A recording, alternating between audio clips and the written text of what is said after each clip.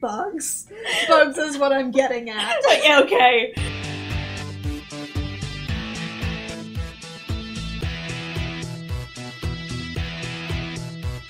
Hello, and welcome to the Afterspark Podcast, an episode by episode recap of the Generation 1 Transformers cartoon. I'm Els, And I'm Specs. and today we're going to be talking about episode number 19 Dinobot Island Part 1. Let's talk about giant robots today, shall we? Yeah. We open with Bumblebee plus Jetpack and Powerglide flying through the air, heading towards some strange energy reading in the middle of the ocean.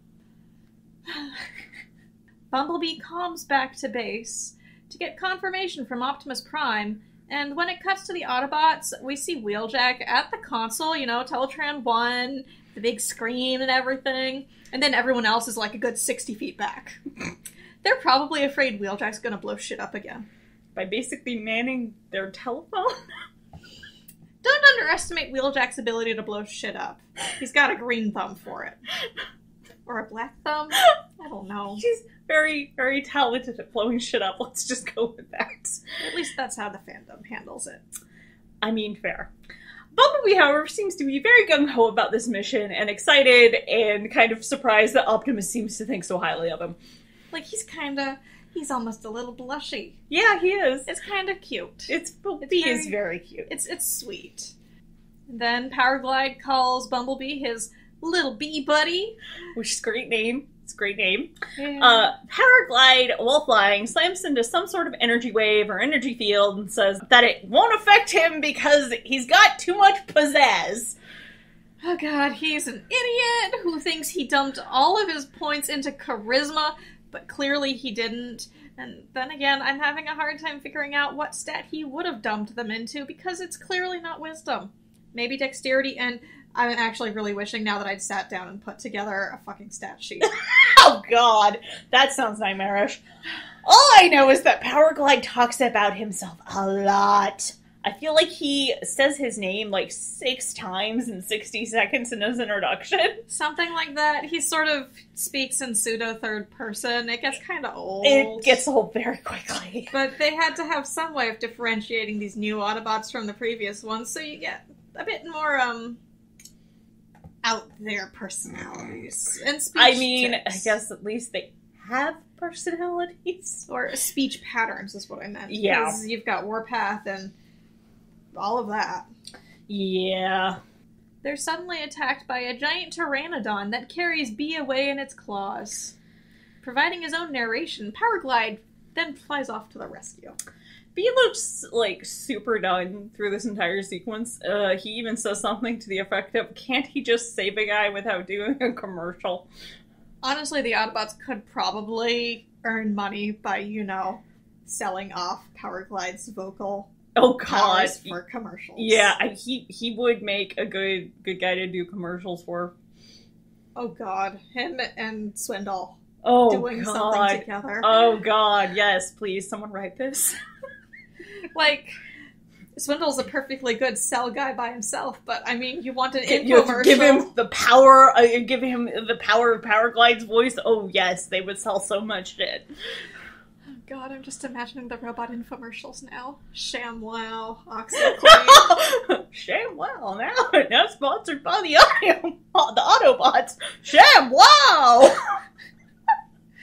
God, there'd be some sort of Powerglide pun in somewhere. Ugh, you know it would. And then, well, so back on topic.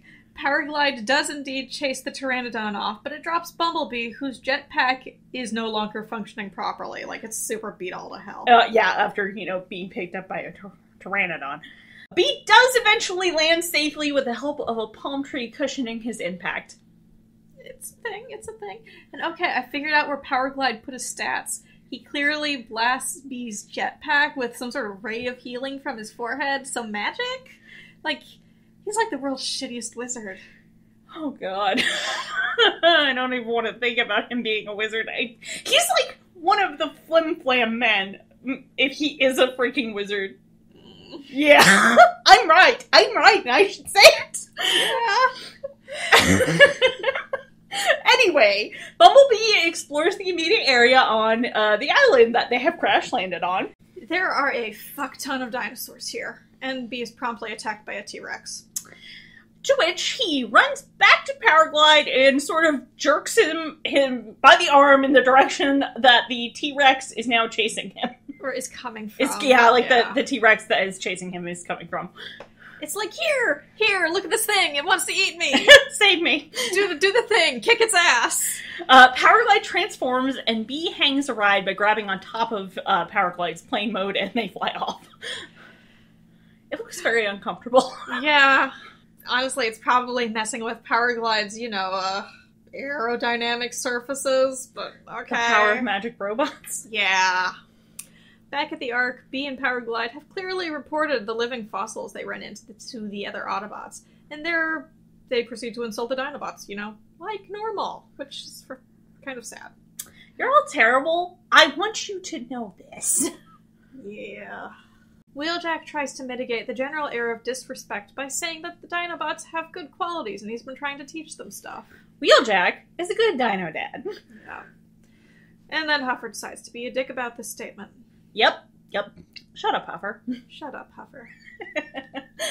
Wheeljack's idea of demonstrating Grimlock's newfound control over his powers, his, his newfound dexterity, is to have Blaster transform into his alt mode and then have Grimlock change the radio stations with fire breath or laser breath or however they refer to it.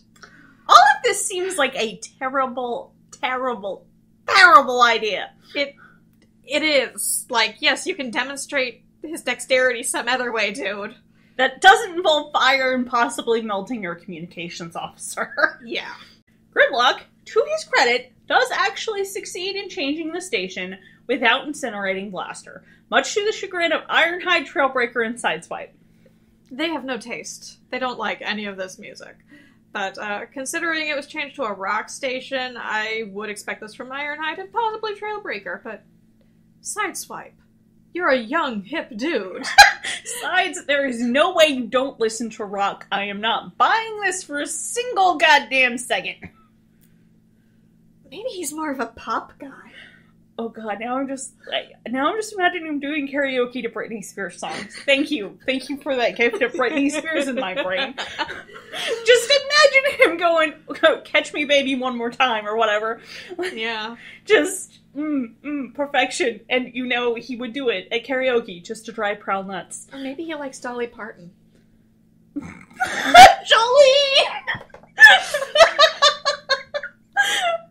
The rest of the bots and humans in the room proceed to celebrate. Wheeljack, in particular, seems super proud of Grimlock. Of course, something has to go wrong, and that thing is Slag and Sludge getting interested in what's going on and then proceeding to bump into Grimlock, who then begins spewing fire around the room uncontrollably.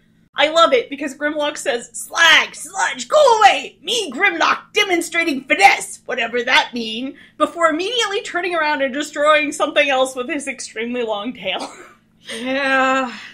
Honestly, the perspective on that made no sense. it looked way too long. I, I'm like not really sure what happened there, to be honest. Yeah, the situation proceeds to further unravel with the unra- with the arrival of the ever curious Snarl and Swoop, who want to come and investigate all this shit. Which, congrats! You lured the first two idiots with the racket, and now you've caught the other two. Well, they're five for five. they are five for five! The Dinobots get dangerously close to Teletran 1, but Trailbreaker uses a shield to protect it, but he, like, shoots it, and then it hits, and it sort of spreads, and it's weird. yeah, I'm not really sure how this guy's powers work. Yeah. We see several previously unseen Autobots who rush in to put out the room, which is now on fire. The main two we get to see are Inferno, a fire truck, and Red Alert, a fire Lamborghini. Yes, really, that's what he's supposed to be. Well, I suppose it was either that, or a fire Datsun, or a fire Porsche, or a fire Minibot. Do you want a fire Minibot? Because that's how you get a fire Minibot. So I looked it up. I believe his toy is a police car version of Sideswipe and Sunstreaker's mold, and it literally was listed as like the police version. Um, but I'm laughing because I'm like, oh no, now I'm wondering, is there a police version of the Datsun or the Porsche or the Minibot? well, there could be a police version of the Lamborghini in Italy. well, isn't Prowl? What is Prowl? Prowl's a Datsun. Oh, Prowl's a Datsun. Then we already had a. We we already had a police Datsun. Yeah. So It's just I don't think because like Crown Victorias were like the main police car for Oh, a while, yeah. and now there's Mustangs and stuff, and I've never seen a Lamborghini. Yeah, like it's just it, it- there would never be a fire Lamborghini. Well, let me look this up because I now want to know if there's a police. No, let me see. Oh my god! Italy's newest police car is a Lamborghini, as of 2017. That's still 30 years too late. I'm not looking at it. Well, there could be other Lamborghinis there, but a Lamborghini makes sense for like Italy. yeah. Ratchet is rather resigned to having to repair the entire room now, with Sparkplug offering to help. Well, he's also got Grapple. Oh yeah, Grapple's in here.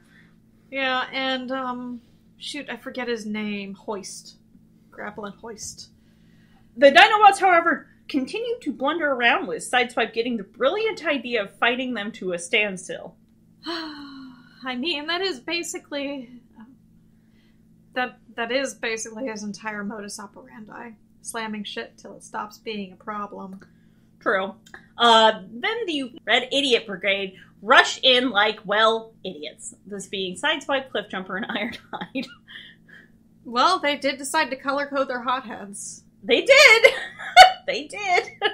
well, paint them all red. They're idiots. Yeah. Thankfully, they are stopped in their tracks by Optimus Prime. And Optimus has Grimlock bring the other Dinobots to heal. He actually shows some modicum of respect and trust towards Grimlock here. Wow. It's an improvement. Definitely is. They then get the brilliant idea of sending the Dinobots to the newly discovered island, where they'll be less likely to break shit, or at least shit the Autobots care about. yeah. Uh, cutting away, we see that Ravage and Soundwave are eavesdropping on the Autobots as they exit from the side of a mountain. Why do they even have this? I guess they wanted a back door. They wanted somewhere where they wouldn't be mobbed by paparazzi, except you never see the paparazzi. I feel like there should be paparazzi. I mean, if giant alien robots landed on Earth, I feel like paparazzi would be all over that shit, but Either that or someone that wants to sell magazines. We've already discussed the magazine subscription sales. yeah. Wheeljack and Ratchet, uh, being good parents, actually wish their babies luck. They're sending their kids off to summer camp. That is kind of what it feels like, yes. Yeah, except there aren't any moderators. Yep, The most yep, mo- we are leaving we are leaving the babies in charge of the babies. Oh god, no, they're basically sending them off to Live in the woods for a week. more or less they're basically doing what Izumi did with the Elrex. yep, yep, yep, that's close. oh god, except now now Spike hops into Powerglide to come with them. Like What? Why are we bringing the squishy? he wants to sightsee. Unfortunately, he didn't bring any goddamn camera. Because you know Chip would be all over this. Yeah, Chip would like to see this. Well, I guess we needed the human element. Well, that human element's gonna end up smeared across the bottom of either the organic or the robot T Rex, I fucking guarantee it. Unfortunately, yeah. Or he's gonna puke everywhere because you just know Powerglide's gonna pull a freaking rodeo with every goddamn ride he takes this kid on. Oh, yeah. Spike does actually put on a seatbelt here, which is kind of new. I figure planes would have some sort of restraint device, even in the 80s, but who That's my guess. That's our guess, anyway. Soundwave calms Megatron about the mysterious island discovered by the Autobots. And clearly, it's shit on Starscream hour as Megatron insinuates that at least some Decepticons don't disappoint him.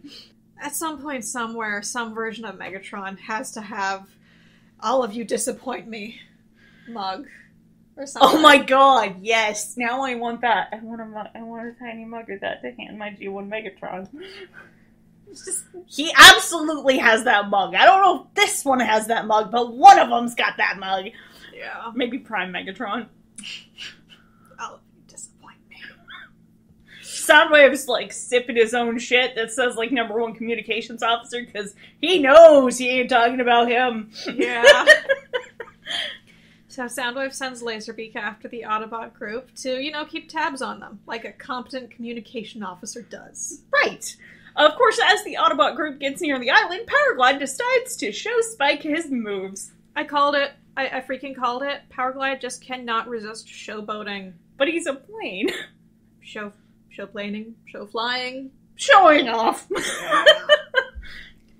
Spike decides to name the new island, and uh, He goes with Dinobot Island because Who, who let the 14 year old name shit? Guys, guys, you.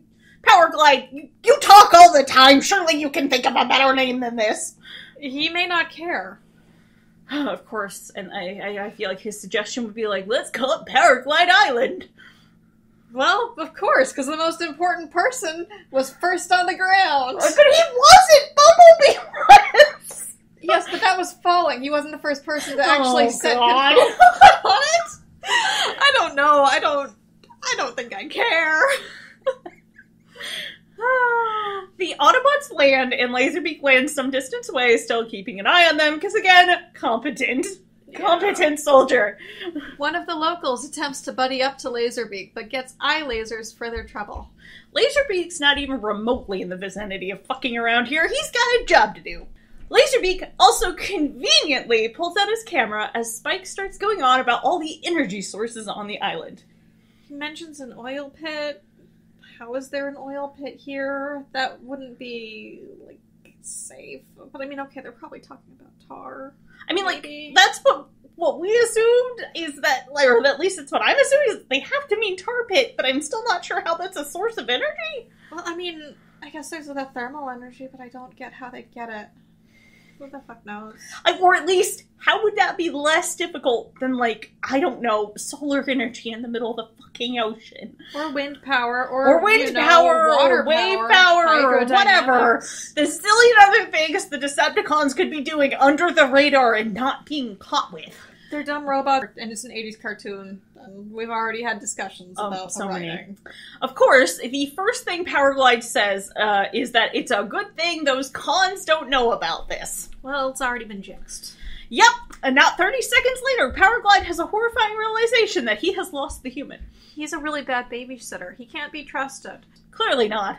Cutting back to Spike, he is immediately picked up by a giant green dinosaur out of nowhere. One that obviously doesn't have a basis in reality. I mean, it looks like a weird dragon. Minus, you know, actually being able to breathe flame.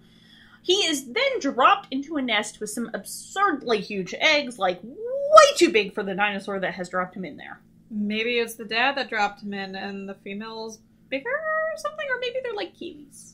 I don't know. I think you're giving this show far more credit than it deserves. Swoop comes in for the rescue. That's because Swoop is a good burb. Spike gets dropped off near a lake with Swoop telling him to be careful before flying off. Nessie then rises from behind Spike and grabs them in their mouth, swimming off. Oh, oh, plesiosaurs. I'm surprised the Autobots didn't decide to build someone based off of one. Paddles. yeah. Powerglide and the Dinobots hear Spike screaming and run over, except, I don't know, Powerglide flies for like two seconds. Yeah, for a whole two seconds. He is extremely gung ho for a rescue until he spots the giant water monster, and then he's like, "Ah, how about you guys do it instead?" To the Dinobots. Yeah. Spike is then rescued by Sludge after Nessie drops him. And in a blissful moment of sanity, Spike decides to return home as he is tired of being Dindins. Yeah, for once a competent decision was made. Weird. Laserbeak, uh, after you know, presumably getting all of this on video, returns to the Decepticon base where he displays the recorded information for Dinobot Island to the rest of the cons. Megatron, well, clearly Megatron's been taking notes from his comic iteration here, as his badge is bright red. for like one shot. Megs is gunning, get it? Get it? Because he's a gun? For a takeover of Dinobot Island, but Starscream, who clearly does not want to be a flying dino dinner, objects. Regardless, Megatron orders an attack in some completely ridiculous, amazing visual framing. Megatron is just standing there, in the middle of the group, with an arm up in a victory pose, flanked by two Decepticons on either side, with Thrust, whom we haven't met yet, framed by Megatron's magnificent thighs. That placement seems so, so phallic. Especially considering his name. Yes, but it gets worse because Thrust is one of the cone heads, which means he has, you know, a pointy head, Yes. which only makes this worse or better, really, depending on how you look at it. to, to clarify, Thrust is way in the background and he's not like lying on his stomach between Megatron's legs. no, but he's like he looks tiny in the distance, and he's right under Megatron's crotch. yes. And I'm just like, why did you frame it like that? Back on Dinobot Island, the Dinobots are training. Grimlock does not have the vocabulary for this. what do you mean specs do flying stuff? Sounds plenty descriptive to me. It's pretty descriptive, but it's not, you know, good for specifics. The cons land, uh, Megatron being a dick to Starscream. When isn't he? Oh, never really. And then Starscream mentions being worried about the bizarre energy waves. Because, you know, scientists and shit, right? They actually remember he did that. Yeah, I know, right? The group splits up to gather energon from the various energy sources on the island. Starscream uh, proceeds to freak the fuck out as the weather begins to des- destabilize, but Megatron just points at him and tells him to get back to work. From the air, Swoop spots the Decepticons from the air. Grimlock, uh, after Swoop gets back and tells him this, orders the rest of the Dinobots to attack. Meanwhile, Spike and Bumblebee are coming out of a library with some lovely, lovely research in hand, which we couldn't read the titles of, but it made no It was gibberish. sense. Yeah, like what we could see, it was just complete gibberish. Yeah. Suddenly, a portal opens up and some barbarians riding motherfucking mammoths come through. I don't know who the voice actor is here, but they are clearly just making silly noises into the mic, and it is amazing.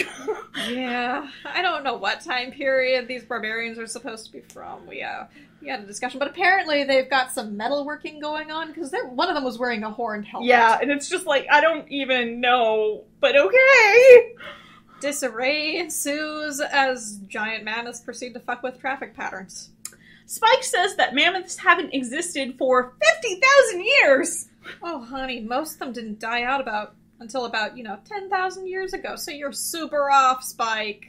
And some of them actually survived until longer, too. yes, but that was a very small population on a very um, Isolated island, essentially. Yeah. They probably had some issues at the end. Sounds like it. Spike and Bee escape into a dilapidated building for cover, but the mammoths ran the building and it comes down on top of the two of them. Yeah, that's bad. That's bad. Back on Dinobot Island, Megatron uses some well placed blasts from his fusion cannon to create a stampede of know, regular dinosaurs to herd the Dinobots off a cliff. The Dinobots can fly. They literally flew earlier in this episode. Did, did everyone here just collectively dump that fact from their brain? I mean, the robots pretty frequently forget they have abilities, but at least these guys are babies, so we can kind of forgive them. Also, they may not be able to fly in their alt modes, with the exception of swoop. So I don't know. Ah, but I don't know why they wouldn't transform. We don't know what the reaction times are when they're startled, and That's maybe they true. don't want to hurt the uh, the other dinosaurs. I'd be more willing to believe that, but I still think transforming jumping up in the air would be faster. It would, it would, but I don't know. We're not. We don't exactly have a view into the minds of these giant robot children. And the Dinobots, unfortunately, fall into a tar pit. because of course they do. Yeah. Including poor Swoop, who only fell in because Grimlock basically fell on top of him. Poor Swoop. Yeah. And that's where today's episode ends. Join us next time for more time warps, cowboys, barbarians, and pirates galore. Yeah. So, do we have some fanfic recommendations for today? Yes, we have two of them. Uh, the first is Pounce by Irian Sato. Uh, it's in the G1 cartoon continuity, rated K. Um, it's Gen, there aren't any pairings, and the characters are Swoop and an unnamed Decepticon. And uh, summary is an infiltrator attempts to escape the Autobots. And I basically decided on this because Swoop. Because unfortunate things happen to Swoop in this episode Poor baby. and it's a one shot. It's also very, very short, um, less than 600 words, I think. So it's a nice little bite. And uh, second recommendation is uh, Wild Man's World by Harpocrates. And it's in the Transformers War for Cybertron continuity. It's rated K, Gen. Even though it was written for a rare pair bingo, there's no overt shipping or anything. The closest you get to it is someone giving someone else a bouquet of crystals. and that's more. I would like you to feel better than anything else. So yeah, there's no pairings. Uh, our characters are Perceptor, Grimlock, Ratchet, and Slug.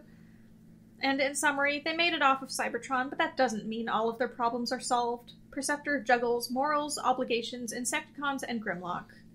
And, well, I picked this one because it's got Grimlock in it, but it also has the rest of the Dinobots, which I thought the way the way the way they're handled is pretty different from you know G1, but I liked it. So, uh, if you're not aware, uh, War for Cybertron is a PlayStation 3 game. The continuity, it's technically in the aligned continuity, which is technically supposed to like encapsulate the video, the War for Cybertron, Fall of Cybertron Prime, and Robots in Disguise and Rescue Bots. But I feel like the video games feel pretty distinct. Uh, but so the way they handle the Dinobots in the game is pretty different, and the Dinobots never show up in Prime or Robots in Disguise, really. So Well, they do have Grimlock and Robots in Disguise. It's not the it same Grimlock. The same. Yeah. it's not the same Grimlock, which is this whole other kettle of fish.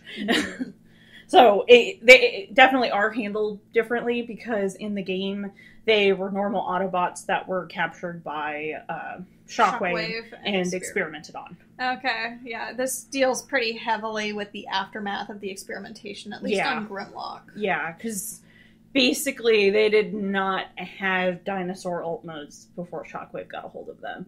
And whatever Shockwave had done had really, really fucked with Grimlock's mind. Yeah. As it will be very, very evident if you read this, which it was good. I rec- I definitely recommend it. And yeah, it's it's one that you haven't read yet. Yeah, I need to read this one because I actually, I really, I'm very fond of Perceptor anyway. So Yeah, and I mean you've actually played War for Cybertron, which I haven't. I keep thinking I should play it while you're over or something because I, I do think you would enjoy the plot, but it's a first person shooter, so I don't know how interesting it is to watch. It's they might have had it available on computer at some They point. did originally, but because the Oh. copyright, Yeah. they, uh, is it EA? Whatever company had it lost the copyright. Um, so So they pulled the digital releases. Now the only way to get it is a hard is a Hard hard, copy. copy. and Yeah. the only hard copies I could find were on PlayStation. Yeah. Which I mean, I guess I could theoretically get a PS. Actually, I'd, I'd want a PS4, I guess, because I kind of want to get the new Spider-Man game. Yeah, you can't play PS3 games on it. Oh, It's they're not backwards compatible. That's why I have both. I hate that. I know, I know, I feel you. Okay, let's get back on topic. Sorry, T- tangent. And I believe we have art recommendations. So for fan art today, we have Misaki, who does a variety. I've seen animated, IDW, some Beast Wars stuff. They have a very simple, cute style. There's a lot of animated art or characters done in the style of Transformers animated. Uh, they've also been doing quite a bit of TMNT stuff as of the time I uh, took my notes for this. Uh, today we have linked a Transformers animated style Dinobot, a neat looking Soundwave, and Rodimus not wanting to work. He wants to play hooky. He does. It's Rodimus. Hooky is like his default state of being.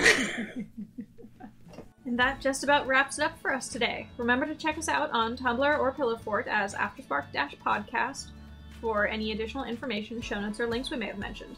You can also find us on Facebook and Twitter at Afterspark Pod, all one word, and various other locations by searching for Afterspark Podcast, such as AO3, iTunes, Google Podcasts, Stitcher, and YouTube, just to name a few. Till next time, I'm Specs. and I'm Els. Toodles!